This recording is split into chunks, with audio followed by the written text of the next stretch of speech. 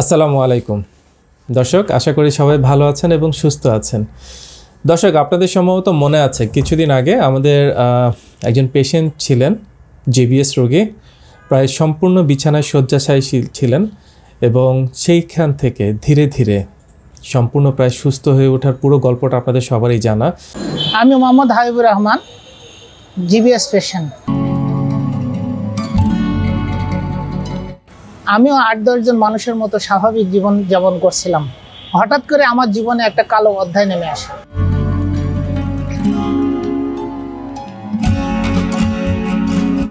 এই যে আজকে আপনারা দেখছেন, আমি বাইরে দাঁড়িয়ে আছি, হাঁটাচলা করছি। একটা সময় আমি কিছুই করতে পারতাম না।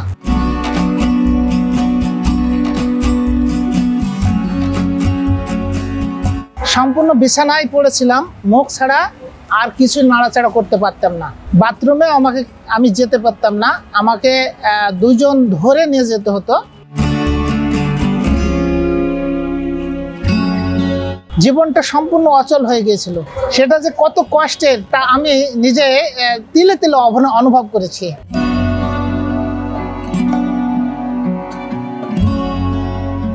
আমি যখন বিছানাগত ছিলাম, তখন পৃথিবীটা আমার কাছে যে কত ভারী মনে হতো, তা আল্লাহ পাক এবং আমি অনুভব করতাম।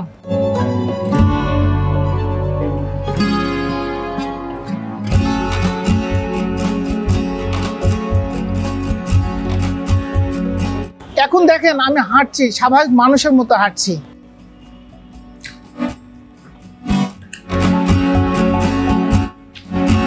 আর দীর্ঘ পাঁচ মাস পর আমি নিজের হাতে ভাত খাচ্ছি। যারা জানেন না, তারা আমাদের প্রিভিয়াস ভিডিওগুলোতে গেলেই আপনারা ওনাকে দেখতে পাবেন। ওনার নাম ছিল হাবিবুর রহমান। একদম যেখানে উনি ওনার বক্তব্য ছিল প্রায় জীবনের আশা প্রায় ছেড়ে দিয়েছিলেন।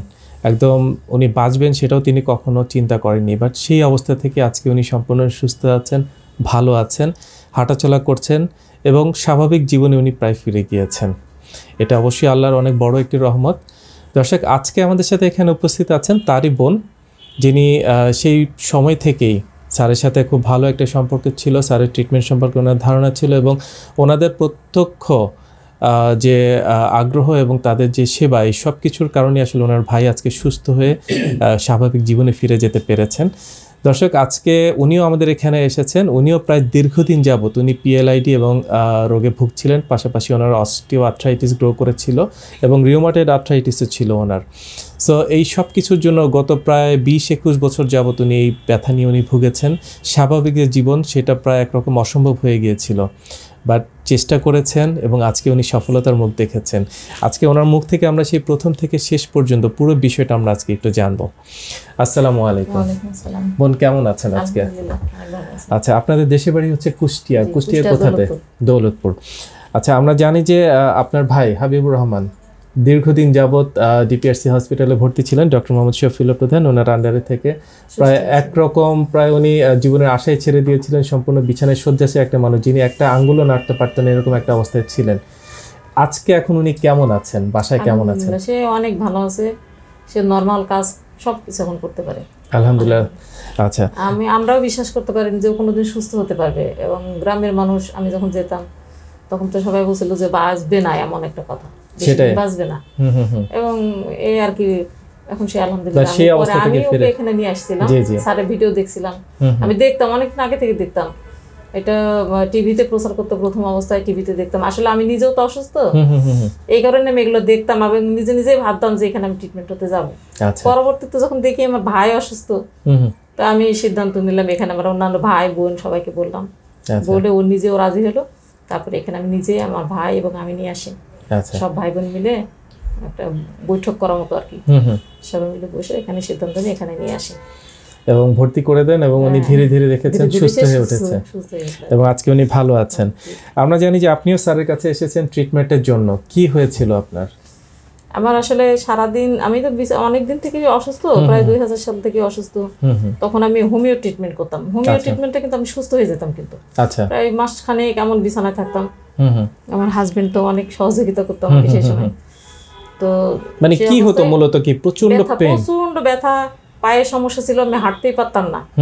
পরে হোমিও ট্রিটমেন্ট করে সুস্থ হয়ে যেতাম এটা ঠিক। কিন্তু পরবর্তীতে আমার চোখের সমস্যা দেখা দেয়। আচ্ছা দীর্ঘমেয়াদে আপনি হ্যাঁ। দেখছেন যে চোখের সমস্যা চোখের সমস্যা। তখন হঠাৎ একদিন এক ডাক্তারের কাছে যায় উনি আমাকে বলে যে আপনার এই এই সমস্যা আছে কিনা? তো আমি বলল যে এগুলো সমস্যা। বলছে আপনি হোমিও ট্রিটমেন্ট বাদ দিয়ে আপনি ঢাকায় যান। পরে আমি ডাক্তার ওনার কাছে ট্রিটমেন্ট নিই। উনি কিন্তু ট্রিটমেন্ট দেওয়ার পর দীর্ঘদিন আমি ওনার কাছে ট্রিটমেন্ট নিচ্ছিলাম। এবং প্রায় আহ, দশ বছর পর পরে ওনার সঙ্গে- আরও যোগাযোগ হয় নাই। পরে একদিন ফোনে ওনার সঙ্গে যোগাযোগ করছি। ফোনে আবার নির্দেশ দিলেন আবার ওষুধগুলো পুনরায় চালু করে ভালো থাকি মাঝখানে অসুস্থ হয়ে এর মাঝখানে আবার রাজশাহীতে যাই রাজশাহীতে ট্রিটমেন্ট নিই। আচ্ছা। তো ওনার ওই ওনার ওই সারের ওষুধগুলো উনিও মানে একই ওষুধ দিয়েছে। খায়। তারপরে ওই ওষুধের জন্য এখন কাজ হচ্ছে না এমন অবস্থা। আচ্ছা। সারাদিন কাজ কাম করি ঠিক আছে যখন বিছানা যায় তখন আমি বিছানা থেকে আর উঠতে পারি না। আমাকে তো ধরে ধরে উঠাই আর কি। মানে পেন কিলার ওষুধটা খাওয়াই লাগতো। পেন কিলার ওষুধ খাই আচ্ছা। প্রতিদিন আমি। মানে দীর্ঘমেয়াদে আপনাকে যখন ব্যথার ওষুধ খাচ্ছেন একটু ঠিক থাকছেন কিন্তু ব্যথার হ্যাঁ। ওষুধ ছেড়ে দিলে আবার সেই খারাপ অবস্থা। তারপরে মাঝখানে তো আমার এই চোখ হুম হুম। একদম প্রায় নাইনটি নাইন পার্সেন্ট অফ হয়ে গেছিল। আচ্ছা। হ্যাঁ তো ও- ওনারা ওই ডাক্তার চোখের ডাক্তার ওনারা বললেন যে আপনি ভালো একজন ডাক্তার আপনি নিজেই ঠিক করে রাখবেন। হুম হুম হুম। তো হ্যাঁ করে যে কোনো সময় আপনি যখনই কোনো সমস্যা হবে আপনি অবশ্যই আপনার শারীরিক ট্রিটমেন্ট ভালো মতো করবেন এবং চোখের আপনি ভালো ট্রিটমেন্ট আপনার পায়ে এই ট্রিটমেন্টে এটা এই রোগের কারণে আপনার চোখের এই সমস্যা। এটা সাধারণত সবার হয় না। আল্লাহ আমাকে রেয়ার দিয়েছে। কেস হ্যাঁ। আচ্ছা। এবং আপনার আহ, মানে যখন শারীরিক ব্যথা হতো আপনি দেখা যাচ্ছে কিছু দূর হাঁটতে গেলে আর হাঁটতে পারতেন না। হ্যাঁ, প্রচণ্ড রকম হাঁটু পেইন হতো। পাশাপাশি আপনার সারা শরীরের প্রতিটা জয়েন্টে প্রচুর তো না আমার কোমরে ব্যথা প্রচণ্ড আমি তো সোজা হয়ে হাঁটতে পারি না। মানে একটা সময় কি এরকম হয়েছিল প্রায় একটু বাঁকা হয়ে বাঁকা বাঁকা হ্যাঁ মানুষে তো বলতো সরাসরি বলতো যে কুজো হয়ে গেছি কেন? আচ্ছা। মানে ওনার নাম করেই বলতো যে অমুকের ওয়াইফ মনে হয় কুজো হয়ে গেছে। এবং অনেকে আছে আমাদের গ্রামের মানুষ বলেন বা হ্যাঁ, অনেকে আছেন এটাকে একটু সামনাসামনি বলে। এবং অনেকে এটাকে অভিশাপ হিসেবে দেখেন। হ্যাঁ, এবং তখন দেখা যাচ্ছে যে আমরা সেটাকে আসলে মানসিকভাবে কিছুটা ভেঙে পড়ি। হ্যাঁ মন প্রচণ্ড মন খারাপ হয় ওকে আমি বলি। তো এক সময় পঙ্গু হয়ে যাব। আমরা ট্রিটমেন্ট নিচ্ছি ডাক্তারের কাছে যাচ্ছি ওষুধ খাচ্ছি বাট দেখছেন ধীরে ধীরে আরও খারাপের দিকে যাচ্ছেন। কখনো কি এরকম মনে হতো না যে আমি আর কখনোই সুস্থ হব না বা আমি কি সারা জীবনের হ্যাঁ মতো পঙ্গু হয়ে যাব? হয়। মনে হয়। সারাক্ষণই মনে হতো এই জিনিসটা। এবং এই যে যে এত কষ্ট দেখা যাচ্ছে পরিবারের সবাই হয়তো আনন্দ করছেন কিন্তু আপনি ব্যথার জন্য আপনি হ্যাঁ। মন সারাক্ষণ খারাপ হচ্ছে এবং আপনাকে দেখে তাদেরও মন খারাপ হতো। সারা রাত কি এমন হতো যে একজন- একজন যদি অসুস্থ হয় অন্যান্য মানুষের তো স্বাভাবিক মন খারাপ হয় স্বাভাবিক। আচ্ছা। তো আপনি দীর্ঘ একটা সময় ধরে আপনি যখন স্যারের ভিডিও দেখছেন একটা বিশ্বাস চলে এসেছে এবং সেই বিশ্বাসে আপনি একদিন আপনার ভাইকে আপনি ভর্তি করে দিয়েছেন এবং দেখেছেন আপনার ভাইও সুস্থ হয়ে গেছেন এবং তারপরে আপনি নিজেও ভর্তি হয়ে গেছেন স্যারের আন্ডারে যখন ভর্তি হলেন আজকে কততম দিন? আজকে সপ্তম দিন। কেমন আছেন আজকে? আজকে আলহামদুলিল্লাহ ভালো আছে। আপনি কি এখন কি সেই উঠতে বসতে গেলে কি প্রচণ্ড পেইন হচ্ছে না এখন অসুবিধা হচ্ছে না। হাঁটাচলা করতে কোনো সমস্যা হচ্ছে? কোনো সমস্যা হচ্ছে না। তার মানে আপনার ডিসিশনটা সঠিক ছিল এবং দীর্ঘ একটা দিন পরে আপনি একটা সঠিক ট্রিটমেন্ট পেয়েছেন মনে করছেন? অবশ্যই আমি এটা মনে করি। এখন জানি না সামনে কি অবস্থা হবে আমার। এখন পর্যন্ত আমি সুস্থ আলহামদুলিল্লাহ। এই যে দীর্ঘদিন পরে এই যে ব্যথামুক্ত একটা জীবন কেমন লাগছে আজকে? আলহামদুলিল্লাহ অনেক ভালো লাগছে। আমি একজন সঠিক জায়গায় সঠিক ডাক্তারের কাছে যে ট্রিটমেন্ট নিতে পেরেছি আমি এটাই আমার সবচেয়ে বড় খুশির জায়গা আলহামদুলিল্লাহ। একটা সময় ছিল অসুস্থ অবস্থায় অনেক মানুষের ভিডিও দেখতেন। তারা তাদের যে জীবনের কথাগুলো আপনাদের সাথে শেয়ার করতো তাদের ভুলগুলো তাদের সঠিক ডিসিশনগুলো শেয়ার করতো। আজকে ঠিক একই জায়গাতে আপনিও আছেন হয়তো আপনাকে এরকম অসংখ্য মানুষ দেখছেন যারা হয়তো ঠিক একই সমস্যাটা তারাও ভুগছেন। তাদের জন্য যদি কিছু বলেন আপনি। আমি তাদের উদ্দেশ্যে একটা কথাই বলি যে তারা সঠিক ডাক্তার মানে চয়েস করুক। আমি মনে করি শফিউল প্রধান স্যার উনি অনেক ভালো অনেক ভালো বলতে কি কি বলব? ওনার মানে কথা মানে বলে শেষ করা যাবে না। ওনার ব্যবহার ভালো ওনার যারা থেরাপিস্ট আছে নার্স আছে বা অন্যান্য যারা কর্মচারী আছে প্রত্যেকের ব্যবহার ভালো। অন্তত আমার কাছে অনেক ভালো লাগছে। ধন্যবাদ আপনাকে। দর্শক, আমরা এখানে ওনার হাজব্যান্ডকে পেয়েছি, যিনি ওনার জীবনসাথী এবং সবচেয়ে কাছের মানুষ এবং যাদের সহযোগিতা বা যাদের সাপোর্ট আমরা সবচেয়ে বেশি আসলে আমরা চাই যে আমাদের কাছের মানুষগুলো থেকে আমরা সাপোর্ট সবসময় চাই, যাতে আমরা এগিয়ে যেতে আমাদের অনেক বেশি সহযোগিতা করে তাদের এই সাপোর্টগুলো আসুন দর্শক, একটু ওনার সাথে একটু কথা বলব যে ঠিক ওই সময়টা কেমন দেখেছিলেন এবং ওনারা কি কি পদক্ষেপ নিয়েছিলেন এবং আজকে যখন ওনার সহধর্মিনীকে উনি নিয়ে যাচ্ছেন, কেমন দেখছেন? আসুন দর্শক, একটু ওনার সাথে একটু কথা বলি। আসসালামু আলাইকুম। ওয়ালাইকুম আসসালাম স্যার আপনার নামটা যদি একটু বলেন স্যার।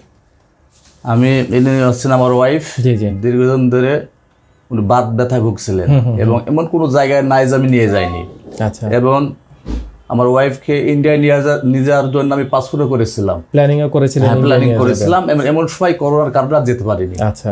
আর এমন সময় ওর ভাই আক্রান্ত হয়। জিবিএস। হ্যাঁ আক্রান্ত হওয়ার পরে ওই এখানে আপনাদের এখানে নিয়ে আসে। নিয়ে আসার পরে যখন অসুস্থ হয়ে গেল তখন আমার একটা আত্মবিশ্বাস এসে গেল যে আমার ওয়াইফ হয়তো সুস্থ হয়ে যাবে। এবং আপনারা দেখেছেন যে এই ধরনের অনেক রোগীও সুস্থ হয়ে হ্যাঁ, বাড়ি ফিরতে যাচ্ছে, হ্যাঁ। যাচ্ছেন।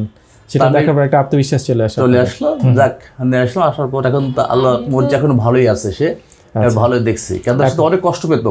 সে তো বিছানা কোনো সময় শুয়ে নড়তে পারতো না আমি ওকে উল্টাই দিতাম। এতটা অবস্থা যে নিজে বিছানায় উঠতে না পারতো না। না না আমার জন্য খুব কষ্টদায়ক ছিল। এবং সে একাই একা বিছানায় থাকতো। মানে এক পাশ থেকে আরেক পাশ হবে সেটাও করতে পারতো না, সেটাও আরেকজনের সাহায্য দরকার ছিল না। আমাকে একটা স্পর্শ করলেও আমার ব্যথা লাগে। ব্যথা লাগতো। এতটা কষ্টকর একটা জীবন আমার ছোট ছেলেটাও তার কাছে থাকতো এত কষ্ট। একটা বেড দেওয়া লাগতো এতটা কষ্ট তাকে আমি ওই ধরে ধরে উঠাইতাম। আচ্ছা। কিন্তু মার্শাল্লাহ এখন পুরাপুরি সে সুস্থ আমি তো দেখছি। আলহামদুলিল্লাহ। যখন আপনাদের রুমে হেঁটে আসলো জি, জি। মুভিং করে বেড়াচ্ছে সমস্ত কিছু আমি তাকে দেখতেছি। করছে। আমি খুব খুশি। আলহামদুলিল্লাহ। দর্শক শুনলেন আমাদের এই ভাই এবং আমার এই বোনের কথা যে ওনারা যেখানে একটা মানুষ বিছানা থেকে নড়তে পারছেন না, নিজে নিজে মুভ করতে পারছেন না, সে অবস্থা থেকে আসলে সুস্থতা অনেক বড় একটি ব্যাপার। আসলে যারা বলেন যে আমি চিকিৎসার জন্য আমরা বিদেশে যাচ্ছি বা বাইরে যাচ্ছি, আমরা তাদের জন্য বলব যে আপনারা কেন যেতে চান? এই ধরনের সমস্যার জন্য যেখানে আমাদের দেশে এই ধরনের উন্নত মানের চিকিৎসাগুলো হচ্ছে, খুব ভালো ভালো কনসালটেন্ট আছেন যারা দীর্ঘমেয়াদে এই ধরনের চিকিৎসাগুলো দিয়ে যাচ্ছেন অক্লান্তভাবে। এবং এখানে একটা জিনিস আপনাদের জন্য আমরা বলব যে পরিলক্ষণীয় যে আমাদের আশপাশে কিছু মানুষ আছেন যারা আসলে সবসময় আসলে পিছন থেকে আমাদেরকে আসলে টেনে ধরেন বা কেউ যদি একটা সঠিক উপদেশ তো আসলে দিচ্ছেন না, বরঞ্চ অনেক সময় দেখা যায় এমন এমন কিছু কথা বলেন মনটা আসলে ভেঙে যায়, সামনে এগিয়ে যাওয়ার যে একটা স্পৃহা সেটা আমাদের কমে যায়।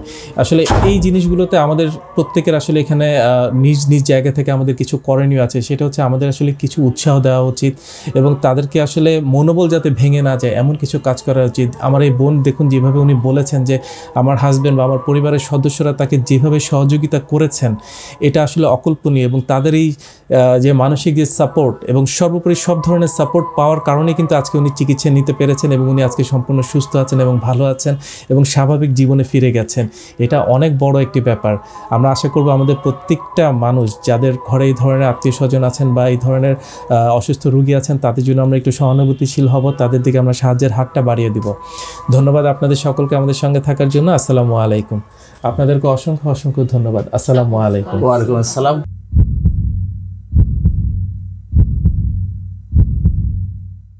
দীর্ঘজীবী হওয়ার প্রথম পদক্ষেপই হচ্ছে সুস্বাস্থ্য নিশ্চিত করা।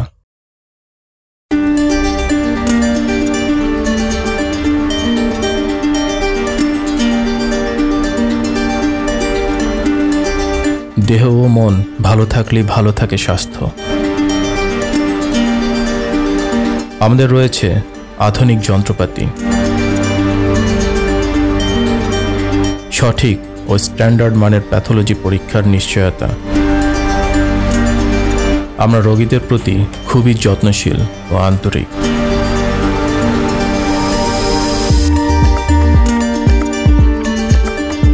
আমরা সর্বপ্রথম প্রতিটি রোগীর সঠিক রোগ নির্ণয় করি, এরপর রোগ অনুযায়ী অপারেশনবিহীন চিকিৎসা দিয়ে থাকি।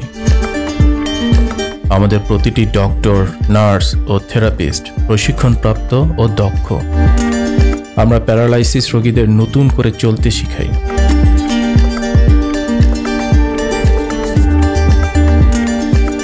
আমরা আপনাকে সর্বোচ্চ মানসম্মত আধুনিক চিকিৎসা সেবা প্রদানের নিশ্চয়তা দিচ্ছি। আমরা বিশ্বাস করি আপনি এখানে আপনার নিজ পরিবারের মতোই সেবা পাবেন।